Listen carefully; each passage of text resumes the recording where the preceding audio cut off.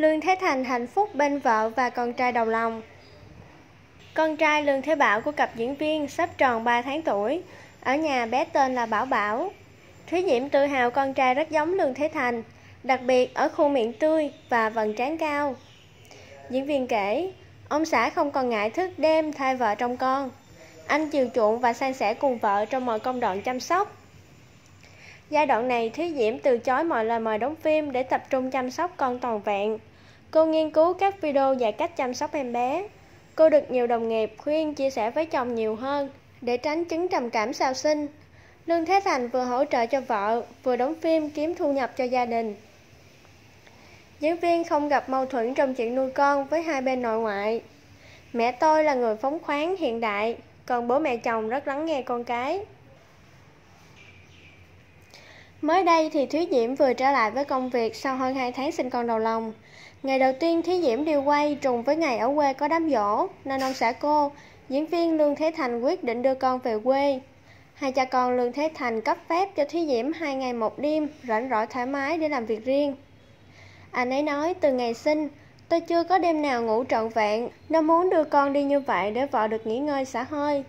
Có thể thỏa thích đi chơi với bạn bè và lấy lại tự do thòi con gái như thổi nào. Thúy Diễm chia sẻ, vì vậy cô đã lên kế hoạch hẹn hò với những người bạn thân đi ăn, uống cà phê và mua sắm sau khi hoàn tất ghi hình. Để chuẩn bị kỹ cho kỳ nghỉ này, Thúy Diễm đã vắt hàng chục túi sữa cho Lương Thế Thành mang theo khi đưa con về quê. Ngoài ra cô còn chuẩn bị rất nhiều quần áo biển tả như hành trang cho bé đi chơi cả tháng. Tuy không yên tâm nhưng sự động viên của ông xã đã thuyết phục cô chấp nhận xa con hơn một ngày. Trái với cảm giác thư thái như tưởng tượng, Thúy Diễm lúc nào cũng đứng ngồi không yên vì nhớ con. Từ khi cậu bé được bố bé ra khỏi nhà, cô đã thấy nhớ. Cô đã thấy nhớ và chạy theo để hôn đến mức sợi má ông nhỏ. Cô dặn ông xã là phải chạy xe thật chậm và liên tục gọi điện thoại để kiểm tra. Khi làm việc, Thúy Diễm cũng không quên được cảm giác nhớ con.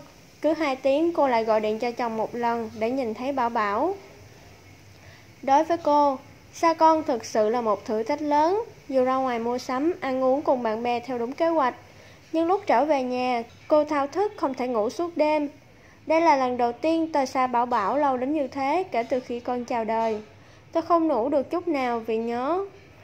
Cứ đến cửa cho con bú là tôi lại giật mình rồi dậy đi vòng quanh nhà. Nhưng chỉ có mẹ bỉm sữa là nhớ con thôi, chứ ông nhỏ chẳng khóc lóc đòi mẹ gì cả.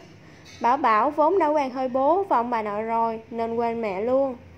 Thúy Diễm xác định vì con trai còn nhỏ nên chỉ nhận làm phim ngắn, quay quảng cáo hoặc các công việc nhẹ nhàng chứ không đi truyền miên như trước. Trong lần trở lại này, nữ diễn viên cũng gây bất ngờ khi đã lấy lại vóc dáng thon gọn như thời còn con gái. Thúy Diễm cho biết cô đã giảm được 14 kg so với lúc mang thai, dù chỉ làm theo lời bác sĩ khuyên mà không kiêng khem gì. Nữ diễn viên ăn uống thoải mái để có sữa cho con, nhưng hạn chế dầu mỡ và tinh bột. Thay vì cơm trắng hay bánh mì, cô chuyển sang ăn gạo lứt. Cô tăng cường ăn rau củ quả để bổ sung vitamin và chất dinh dưỡng. Thêm vào đó, Thúy Diễm cảm thấy may mắn vì mẹ chồng và mẹ đẻ đều có suy nghĩ rất hiện đại, hoàn toàn ủng hộ mọi quyết định của con và không ép cô ăn các món ăn bổ dưỡng theo quan niệm truyền thống. Thúy Diễm sinh con trai đầu lòng Bảo Bảo vào ngày 27 tháng 6 năm 2018. Cậu bé là trái ngọt đầu tiên trong cuộc hôn nhân của cô và Lương Thế Thành. Hai vợ chồng đều là những diễn viên nổi tiếng ở khu vực miền Nam, từng đóng cặp với nhau trong nhiều bộ phim như Trái tim hoa hồng, Ra muốn tháng 9 và bắt đầu yêu nhau từ khi cùng tham gia bộ phim Ranh giới tình. Cặp đôi làm đám cưới vào tháng 4 năm 2016 sau vài năm hẹn hò. Lương Thế Thành từng cho biết anh yêu Thúy Diễm vì tính cách dễ thương, không bon chen.